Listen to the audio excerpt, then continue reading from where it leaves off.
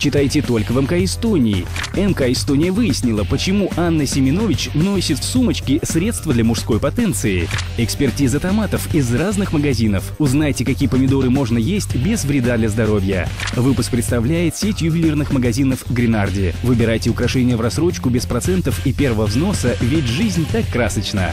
МК Эстония. Ваш семейный еженедельник. Плюс новости каждый день читайте на сайте mke.ee.